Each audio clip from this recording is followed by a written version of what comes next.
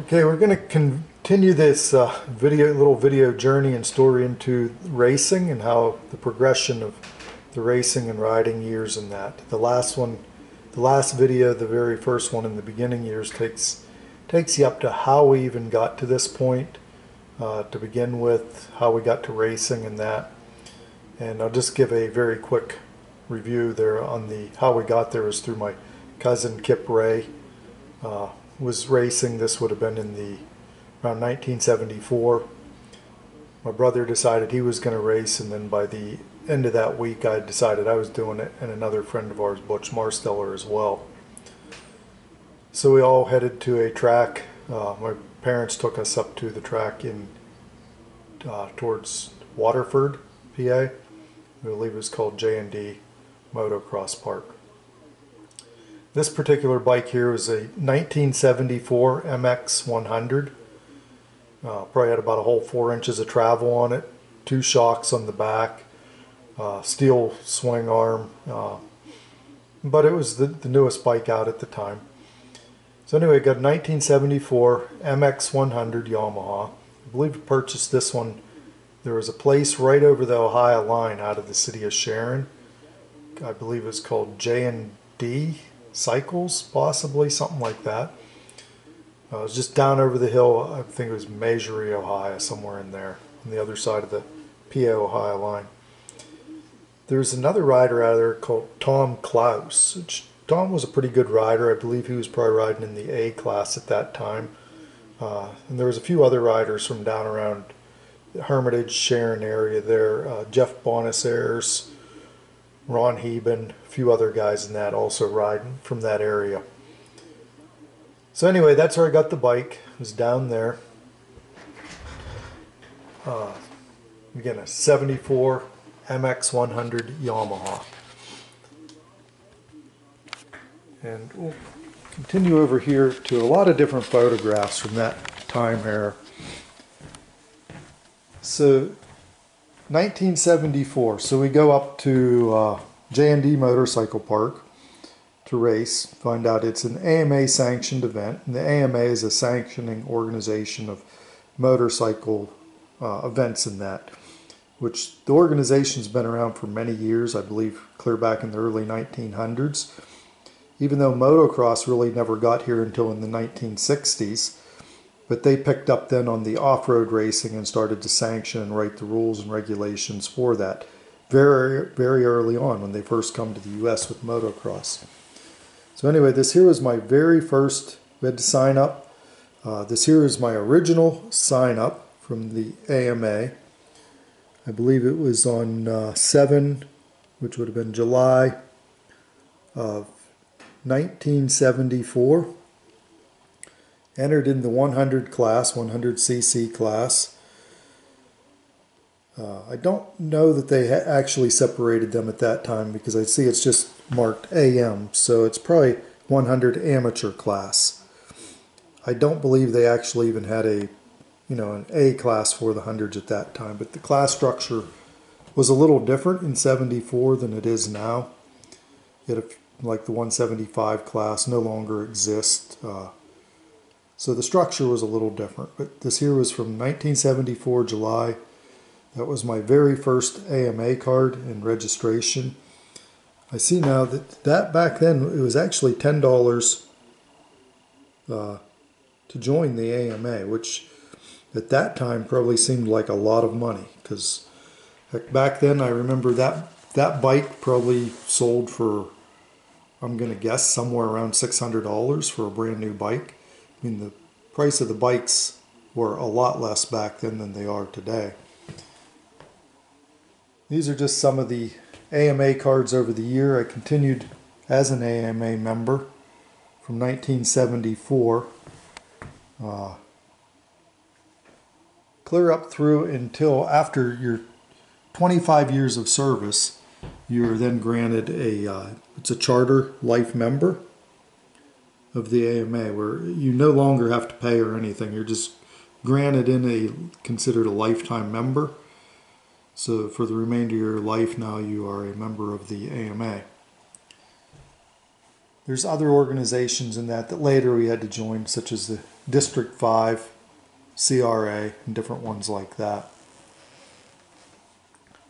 So moving on, 1974, this would have been the bike.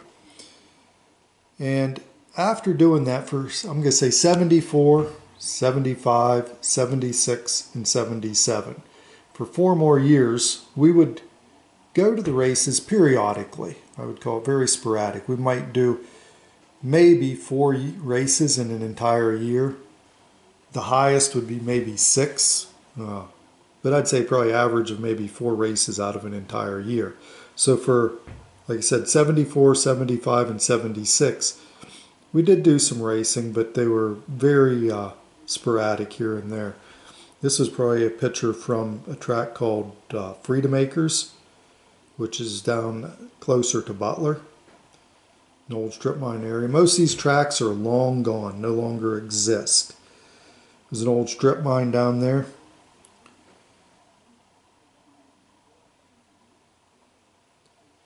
And I'm sure this photo here was from at Freedom Acres. You could go down there during the week and ride as well, which occasionally we would. You can see the strip mine area in the background in that. And just as a kind of a side note to go along with this, I'll go on over. In pulling out some of this information, I found some uh, just old papers. I used to keep some records of stuff phone registries and stuff. So I just kind of found this a little interesting too in it. So I had in there listed because a little later in years in that there there was different organizations in that uh, motorcycle dealerships and that. And I've seen this one here. It was called uh, Keystone Motocross. They're out of Beaver Falls down there. I believe it was George Quay started that.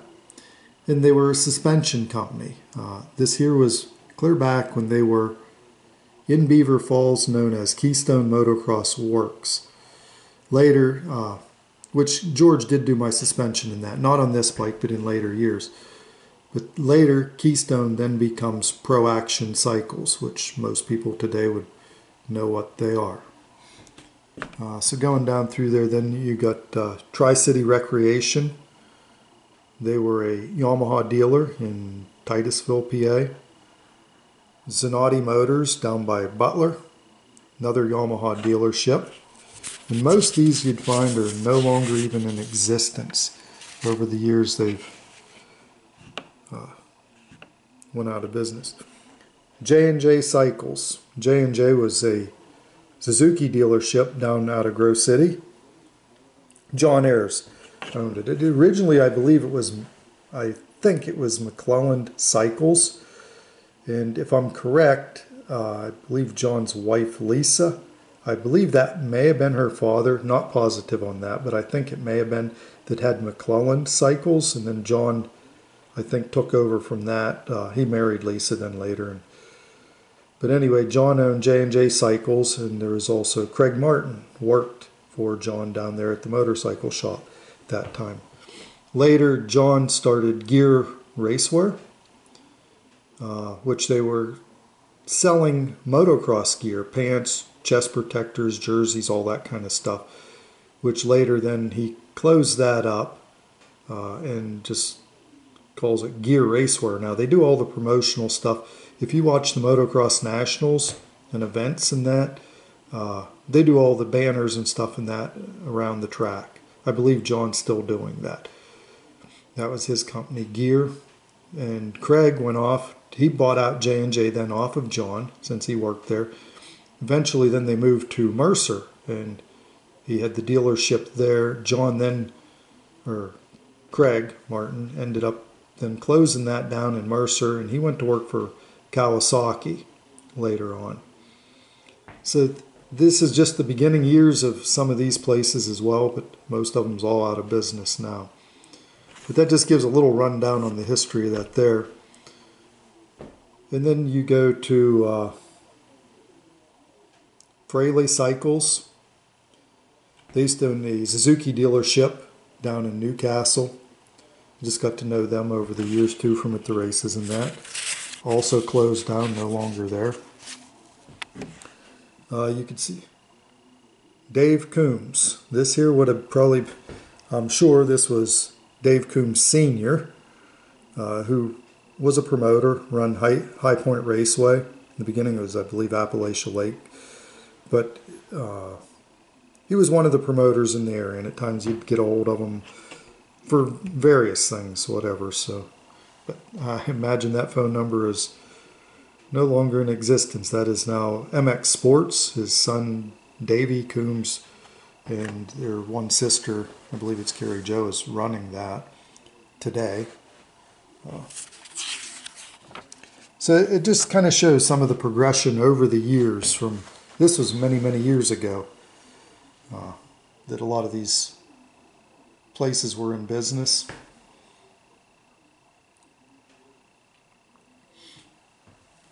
And I, I had rode Yamahas over my entire life, really. That was primarily the bike. That's why I have a lot of these different dealers in that, because at times back then the bike bikes broke quite a little bit.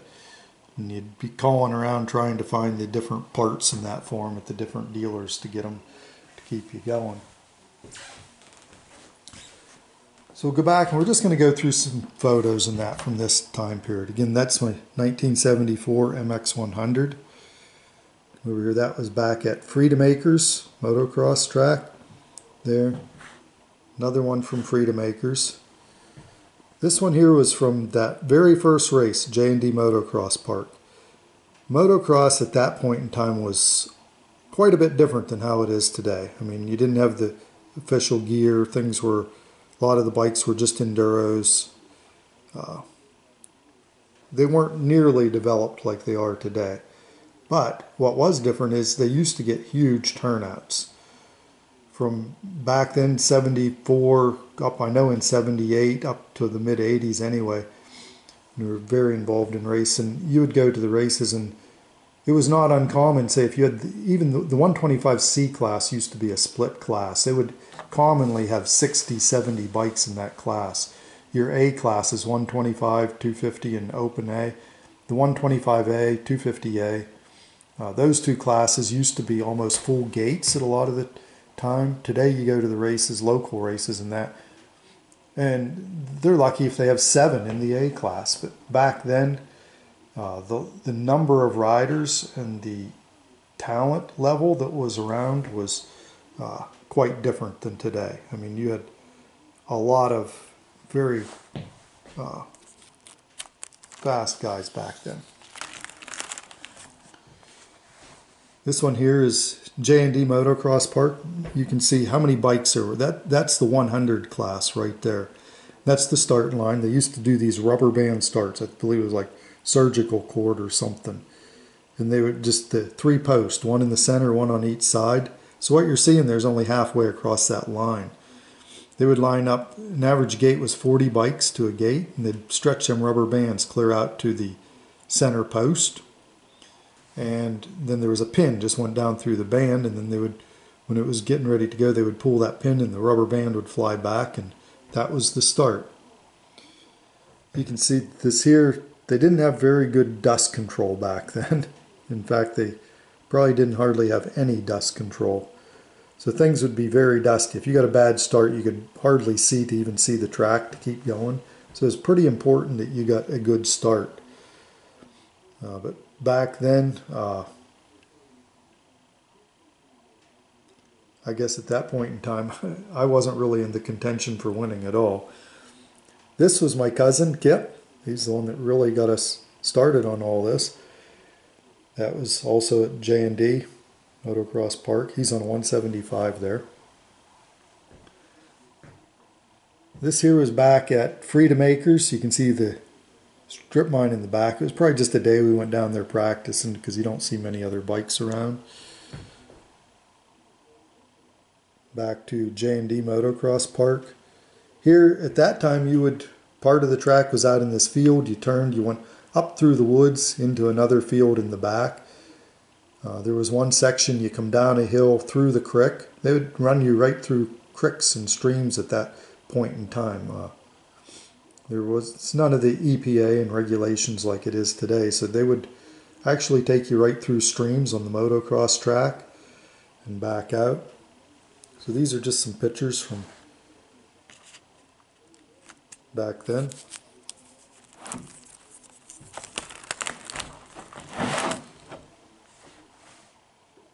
This is back down there at uh, Freedom Acres. You can see the sign up building there in the background. My mother on the bike and my brother in the background. That was Butch Marsteller, a real good friend of ours. It uh, raced quite a little bit. Butch was kind of a wild rider. I, will have to go off on some of the stories a little later on him and that, but uh, later Butch had a tragic street bike accident and was killed. He's 30 years old at the time. That was a CZ that he had, old CZ 250. It was myself, my brother, and Ed Richter. Uh, Ed and his brothers lived by us and later moved out to Arizona.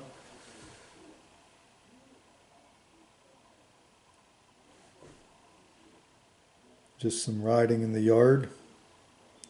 Is another motocross track, uh, not sure where.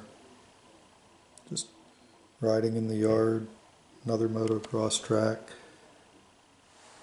These are just some old photos from back how the motocross tracks and that used to be.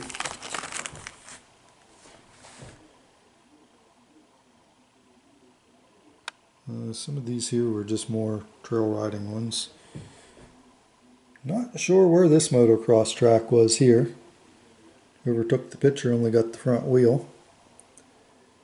And this one here was probably back down at Freedom Acres. Like I said, them the first four years of racing was very limited. And primarily we only did J&D and uh, Freedom Acres. Both tracks have been long gone.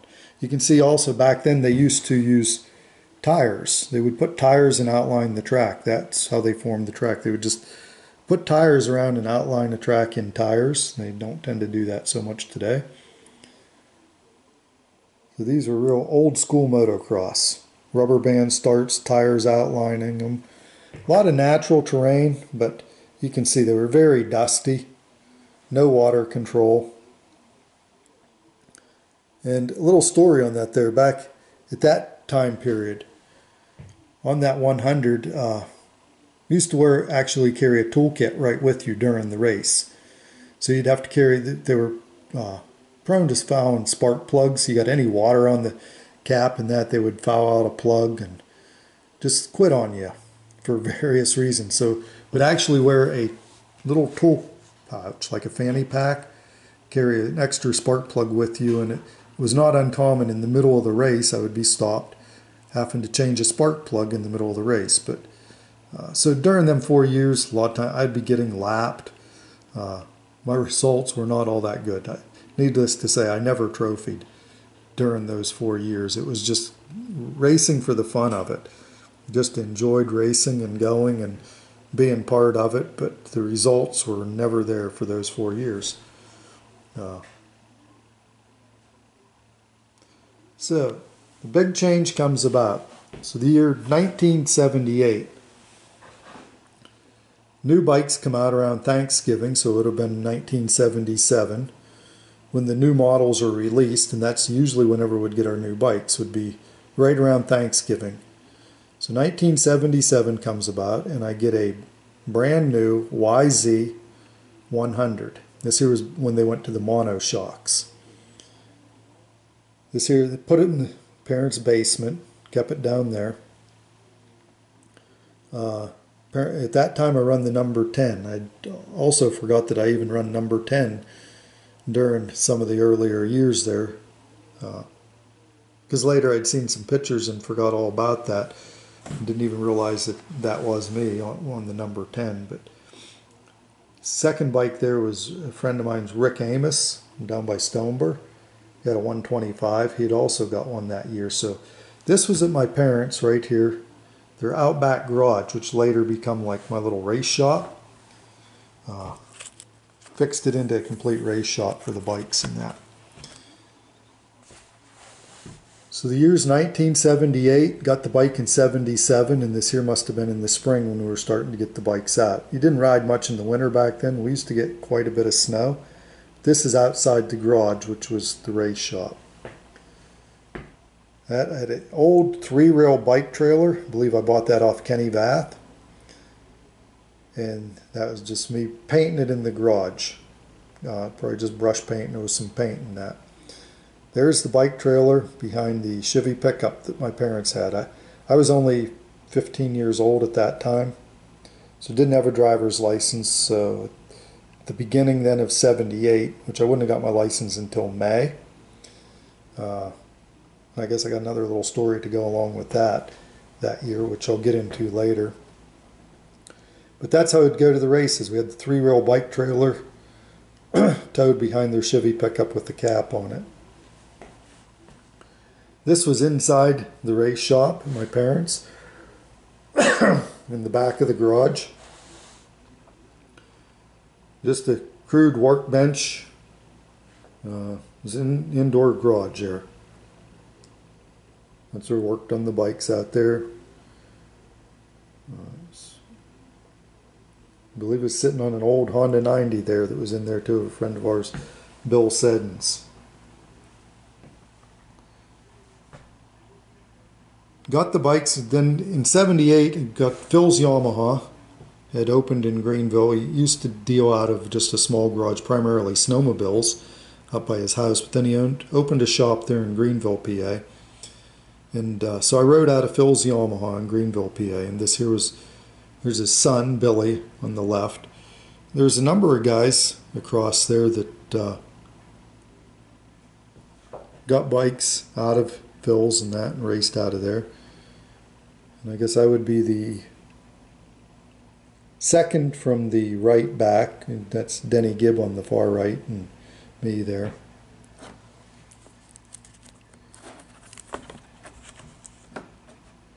So some of the different tracks we're going to, this one here would have been at, I believe that was Mercer Racetrack called Hughes. Used to have a, a ravine that you went down in on the one side and jumped out of the other side. The next one over, this here would be, again, 1978 at a place called Harbor Woods, Pirate Motocross in Newcastle, PA. It was Musquires, which would be Leland's father, and I believe it maybe it was his uncle. It was kind of a family-run track. His grandfather and different ones uh, worked there doing different positions, like running the starting gate, different things like that. But a story to go along with this picture that I'm not 100% sure is correct, but I believe, believe that it is. It was either the kid in the very center with the 43 or the next one over with the Fox jersey on. Uh, and I believe I was right there behind them. In 78, uh, I was running the 100C class. This was the first year that since I had a decent bike and things really turned around this year. Because primarily I would did quite won quite a few races. But I do remember one of those two. I don't remember which one it was, but I believe his name was maybe Dean Hepler, which I believe is the father of Brock Hepler. They were from down around Kittanning area, somewhere in there, or maybe it was even his uncle.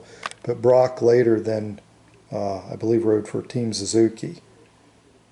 With had some fair results in that, but again, I believe that's his father or uncle there in that picture.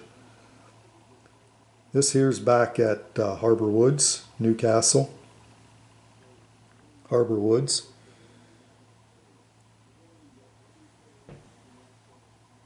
This is the start at Harbor Woods. More of Harbor Woods. This is the starting line. They still had a rubber band start at that time, 1978. Harbor Woods getting staged for the start of that. I believe Harbor Woods. This one here was probably at either at Mercer or at Stoneboro. Not sure which.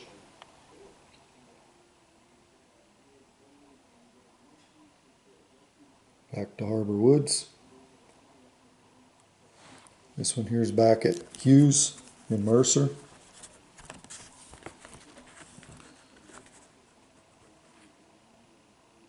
That, I believe, was at Harbor Woods, for sure Harbor Woods. The uh, A lot of these were from at Harbor Woods. We run there a lot that year.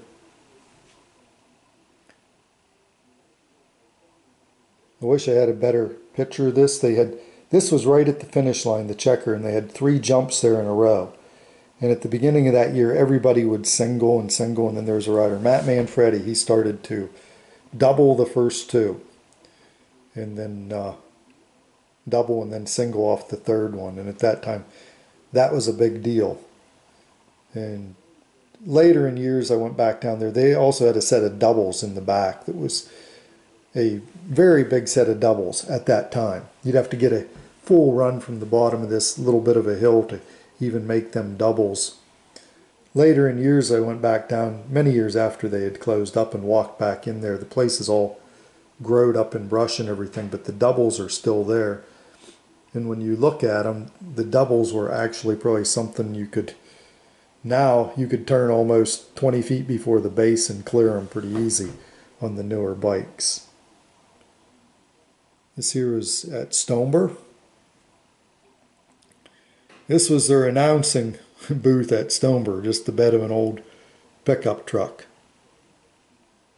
This Tim Marsteller at Harbor Woods. Apparently Tim crashed out. He was riding a Bultaco at the time.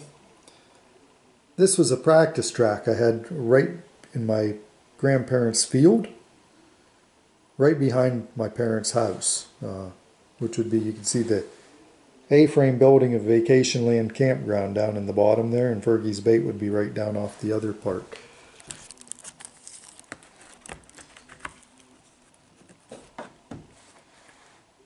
Some of these pictures are you can see the amount of smoke in that even off the motorcycles at the starting line back then.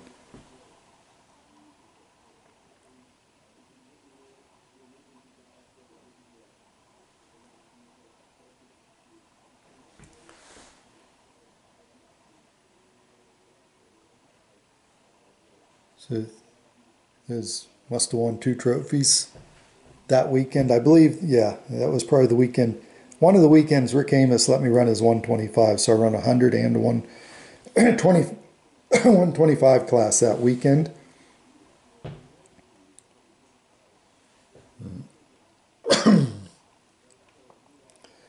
this picture right here was at Hughes, also 1978. Top of a big downhill.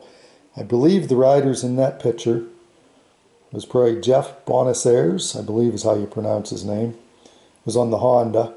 Right behind him on the Yamaha in the blue jersey was Ron Heben, which Ron Heben then later become Kawasaki's team manager. I believe he was the team manager for a number of years for factory racing team Kawasaki.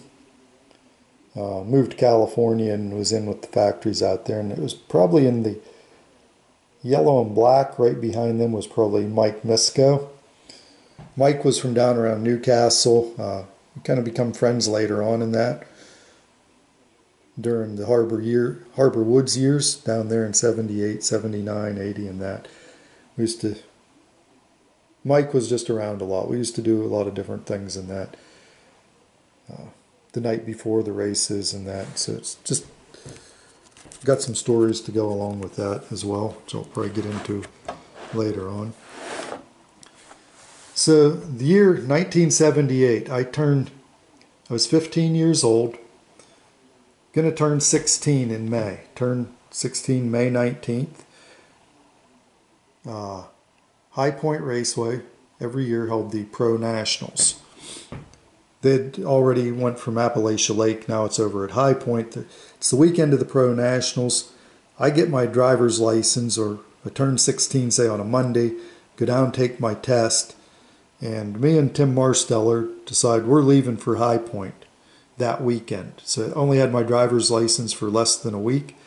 me and him load up the pickup and the uh, three-wheel bike trailer and take off for High Point, going racing down there. That's the weekend of the Pro Nationals. So this would have been 1978. This is Marty Smith, which I'm sure anybody that knows anything about racing would know who Marty is. He was factory Honda. He was one of the original superstars of racing. Uh, kind of shows how, how he was he was racing. They had a, just an enclosed trailer and a old motorhome they traveled out of. Don't remember that's a mechanic. The guy sitting there was uh, Marty's mechanic at the time.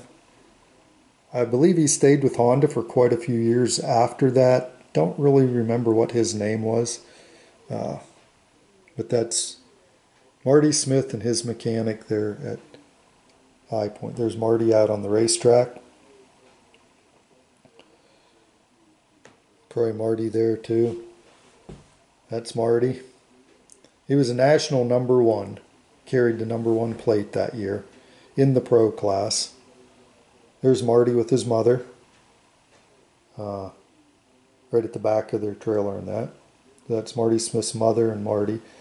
Marty and his wife Nancy that he married both. This right now this year is 2024. I believe it was probably in about 2022. Marty and Nancy were both killed in a dune buggy accident uh, out in the desert. So tragic ending to that. But Marty, one of the very first of the national champs here in the U.S. in motocross. Again, this was in 78, so motocross is still relatively new. I believe this is Tony DiStefano, Pennsylvania rider. Tony went on later to win a national championship himself, maybe a few actually, don't really recall. Uh, again, this is the weekend of the Pro Nationals at High Point. If you've seen that event today, uh, how the banners, the setup and that is far different. Back then, you you would actually walk right out. You could cross the track while the pros were during the race. You could cross the track. You could get right out at the edge of the track. You can actually see see how people are so close to the track. There's no fencing, no nothing. Still had the tires to outline the track. They painted theirs white. Uh, but that's the original years of motocross.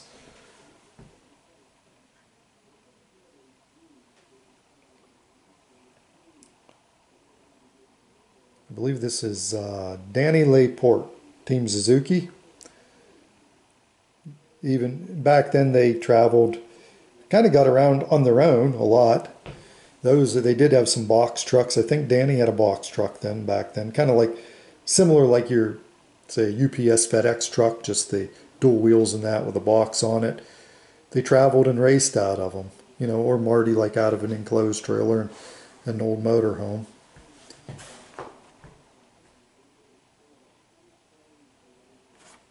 So again, High Point Nationals, 1978, Pro Nationals.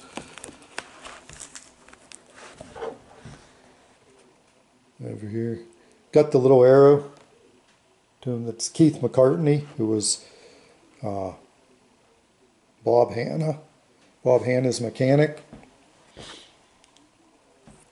Uh, I believe this is Pierre Karsmakers forget which country he was from. He's not from the United States. He was over here racing. Marty Tripes. Uh, that was myself, but that was that's not at High Point. I'm not sure where that was at. At another racetrack. Here was one. I believe this here was at Stoneboro, the Stoneboro Fairgrounds. They used to have a motocross track. Kenny Vath used to do it, but uh, we would race there. Another one from Harbor Woods. This was the back doubles at Harbor Woods as well, clearing the doubles on my 100. I believe the guy there with the got the black sleeve with the yellow stripe was maybe Dean McRae's father. Uh, if I remember, got a little bit of stories to go along with that, but that was me over the back doubles. Back then, that was before the big whips and everything like you do today. That was somewhat of the beginnings of a cross up. I mean, to do a cross up back then was a big deal. That was when uh, the one handed jumps and taking one leg off the foot peg and all that, or clapping your hands above your head, taking a hand off the handlebar. It was kind of like uh, show riding back then, before freestyle ever come about.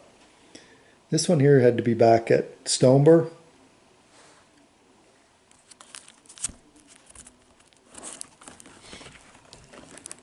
And and back at Harbor Woods. So, like I said, before 1978, the prior four years, I was getting lapped, never had no results in that. So, by the end of 1978, I was starting to have some pretty good results. So, I used to keep almost like a little ledger in that which is very nice now because I went coming back through this ledger when I got out the other day. I realized some of the stuff I don't even really remember is how it happened or how it all turned around. But when you see it, you know, it was all noted back then. This here was just in an old student notebook that had Yamaha YZ100 on, but I would have still been in uh, 78. I would have been maybe a sophomore in high school at that time. 15 years old, turning 16 that year. So, first race of the year was at this Harbor Woods. And first moto, I got a sixth and then a fourth, had a fourth overall. No trophy. But the second race of the year, from going from being lapped and stuff the prior years. First moto I had a fifth, second moto I had a second, and I had a third overall. Got a third place trophy. I say I grabbed the whole shot in both those motos. But I had wrecked in the first moto there. I got the little wrecked and make little notations of what happened. But that third place overall, that was the very first trophy I had ever won, ever. That would have been the 100C class that year. So then we go on to Hughes motocross, which would have been in Mercer. And had a sixth and eighth, and back to Newcastle, a fourth and a second, second overall.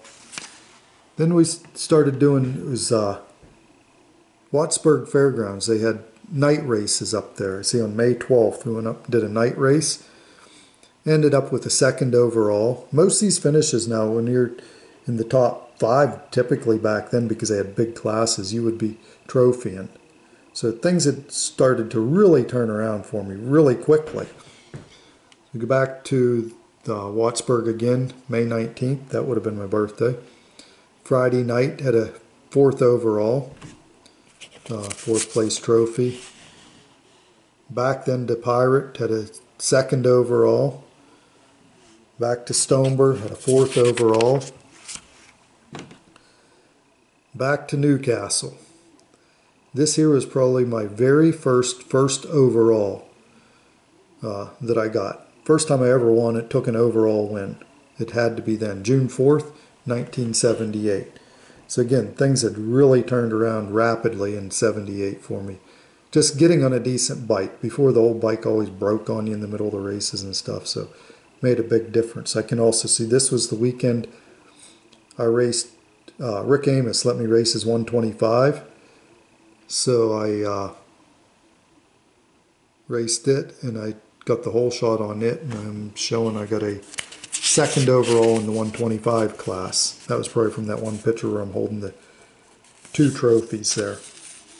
Run the 100 and the 125 class and the 125 both classes. So back to Newcastle, end up second overall, back to Mercer, here third overall. Uh, Lawrence County Farm Show or Fairgrounds. They uh, not Farm Show. That's a whole nother place. But Lawrence County, they started doing Friday night races. They held it was called a Pepsi Cola Super Series, and not sure. Apparently, they didn't have a hundred class there. They may not have, because I see I run the 125B class there. Probably did it on my hundred.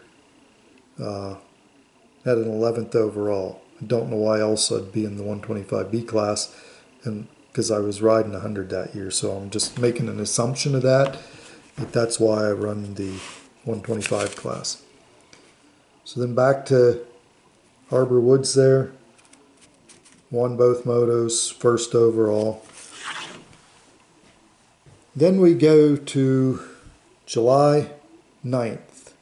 That must have been the High Point weekend when me and Tim Marsteller took off and went to High Point. That was the 250 500 Nationals. Didn't remember it was a 250 125 or what, but 250 500 Pro Nationals. Uh, so anyway, that weekend down there ended up with an 11th overall, no trophy there.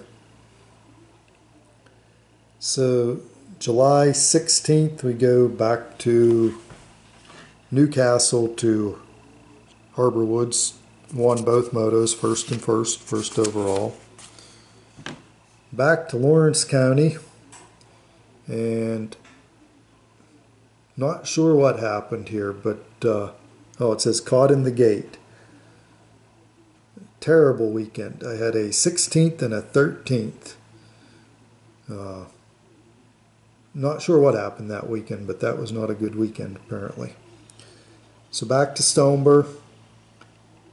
See, I got a fourth overall. Back to Wattsburg Fairgrounds, second overall. Back to Harbor Woods, second overall.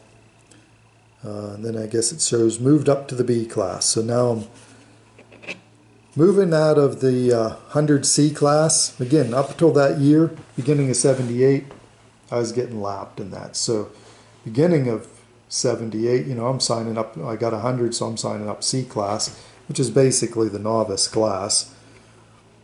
Because uh, I had never trophied. And then things really started to turn around for me that year. Because primarily, usually I have found until you, once you're winning all the time in the lower class, and then you can move up to the next class up, which they would go A, B, and C for the rankings, which primarily C is supposed to be your beginner class, uh, novice. B would be your intermediate or B class after you got some experience, but B class could be very competitive. Uh, and then if you're winning all the time, having good results in there, then you would move up to the A class or some call it pro class. But basically in racing, you got A, B, and C. Your A class is your pro class, or if you got to hold a pro license, you're running the A class. The difference between like at the nationals, those are the pro nationals. Those are uh, you have to hold a pro card, which is still the A riders. You just have to apply for and get an, a pro license to be able to run in the pro nationals. And it's designated uh, for pros only, or a lot of the guys you see trying to make the cut and all that uh, are your A riders from the local tracks, and that that's that's how it's made up. A, B, and C, with the A, B, and your ranks of the pros. So anyway, still in 78, I go to Wattsburg Fairgrounds on a Friday night, and I see I got a notation here of I raced a 250 CR that night. Not sure why I was on a 250. I'm assuming my bike must have been broke down, which that would happen, and can't remember his name. It was Richard something, lived over by Jackson Center, and I do remember he let me use his bike for that weekend and he had a 250 CR, and that that's what I got to assume that one was from. Not positive, but uh, so I run the 250 class that night and had a uh, sixth overall in the 250 class. So then we go back to Wattsburg the following week. I see I ruined the front rim uh, that night. at a sixth and seventh. Must have bent the rim in on something. Wasn't uncommon. You'd ruin rims back then. Several a year anyway. Uh, back to Newcastle at a fourth overall. Back to Newcastle. Now this year would have been, I've already moved up to the B class now. Third overall. Back to Newcastle. Got a first, got hole shotted both motos. Got a second overall. Then back to Newcastle. Uh, third overall, back to Newcastle, third overall, back to Newcastle, a second overall. So now even in the B ranks, the uh, results are picking up pretty rapidly in there. Uh, now towards the end of the year, back to Harbor Woods. See first moto wrecked, had a seventh, bent the handlebars and the front rim. In that, uh, and I believe that was the uh, conclusion. So by the end of Harbor Woods that year, what they had done is uh, whenever you signed up, at the beginning of the year when we walked in their sign up building, they had this large trophy up there. And I remember Tim Marsteller was along or whatever, and we walked in there and uh, seen that trophy. And you got to imagine, at 15 years old, that was pretty exciting. Had no idea that by the end of the year, uh, I would actually win the overall championship, therefore, at the track. And what that was is they combined all classes. It didn't matter what class you were racing. Uh, every class across the board, A, B, and C, from the 100 up through to the open class in A, B, and C ranks. You just got, depending on how many bikes were in your class and what place you got, you got scored so many points and it was accumulation of the points over the year. So they had, there would have been a lot of entries over that year. Probably, uh, I'm guessing there there had to be well over a thousand different entries come in there. Now, true, some of them, you know, they might have come and raced there a couple times and didn't come back, but a lot of them come pretty regularly. And uh, at the end of the year, it was whoever accumulated the most points out of any class was going to be the overall winner. And uh, so at the end of 78, I had won that overall trophy. And I believe the, the final race that year that was coming down, it was going to be between, as I recall, there was between me and I believe maybe Sam Fodia. Sam Fodia was an A rider in the 125 class that had, uh, he was in contention. There was only a few that still in contention for that there. And I think it was my first moto, possibly. Uh, back then, you wore an open face helmet. I had an old red, white, and blue with stars open face helmet. Actually, there it there it is in the picture. You can see you wore open face helmets with the Scott goggles with the lower face mask. At the beginning of the year, is probably just the snap-on mouth cover. So your helmets weren't very good back then. They were pretty thin.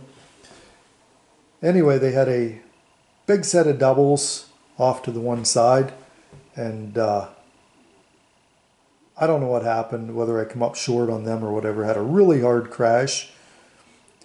Uh, smacked my head. That was probably the first possibly concussion I ever got because I remember it just seeing the bright lights flash and that when I cracked my head into the ground on that one.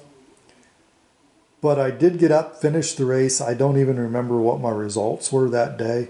Uh, but in the end, was able to uh, win the overall. In this or in this picture here, that was just from that race year. It's an old box. It was like an old tin cupboard bolted on the trailer for carrying gear and that. So that was the trophies over the that year, 1978, from the different tracks, along with the High Point overall trophy. And primarily at that time, we were mainly running again Harbor Woods, Mercer, which was Hughes, Wattsburg, Lawrence County and Stoneboro Fairgrounds. We hadn't really started to travel out much yet at that point in time. Uh, so that was the conclusion basically of 1978.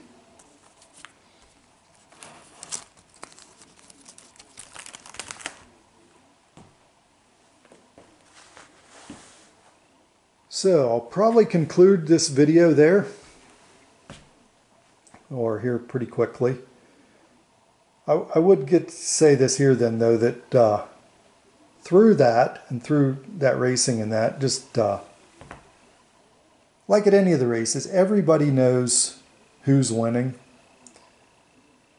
who the top guys are and all that there so through that made a lot of friends you know once you start winning in that, it just seems like, uh, shouldn't say it, but there gets to be a crowd, you know, like the ones who are winning kind of hang with the other ones like that for whatever reason. I mean, it seems kind of crazy in that, but at that time, it, that's kind of how it was. But then you start to get in with some of the other guys in that. Uh, and Matt Manfredi, uh, Matt was one of the top A riders at that time.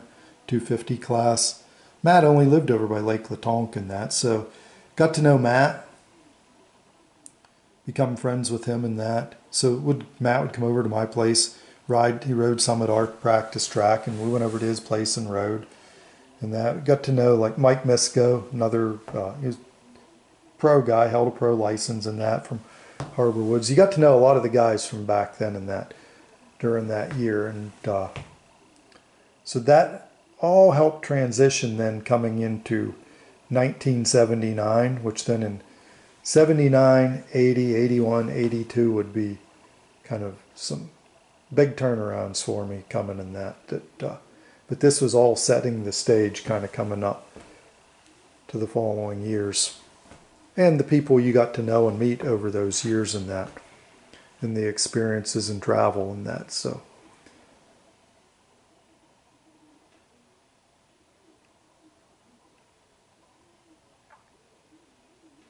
I guess I will conclude this video.